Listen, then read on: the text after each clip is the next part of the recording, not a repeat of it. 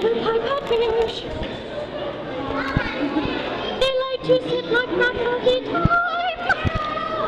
In a second. Jesus! Hold your horses. We would, and we found the shark tank. Now get your Shark? over. Yes. Hang on, I'll get two take some one. What's in here?